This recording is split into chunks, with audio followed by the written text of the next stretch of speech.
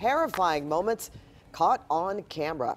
A minivan driver barrels through a crosswalk and runs a woman down. And police released video in the search for the hit and run driver who severely injured that woman you just saw. Yeah, they hope obviously that can help catch the driver. This happened at Fountain Avenue and Lyman Place in East Hollywood. CBS 2's Rachel Kim live with reaction from the woman's husband. Rachel. Yeah, Jeff and Pat, the hit and run happened in the crosswalk you see right behind me. Fortunately for police, the whole thing was caught on security cameras. We want to warn you the video is jarring, but the woman did survive and is expected to be okay. Around 9 a.m. Tuesday, 50 year old Tatiana Laitman was on her way to do some shopping for her job as a caregiver for the elderly. Security cameras show that as she tried crossing Fountain Avenue at Lyman Place, she was hit by a minivan. The driver kept going and passerbys rushed to help.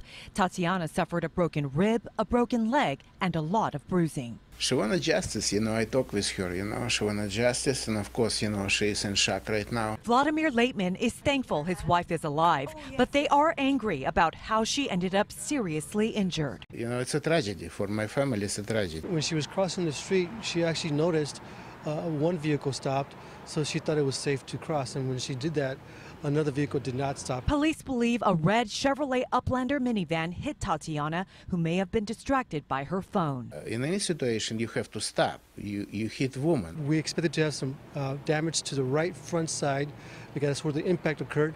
We might even see some blood. Vladimir and Tatiana couldn't believe what they saw when they watched this video. They just hope police will find the driver soon. It's, it's hard to understand, you know.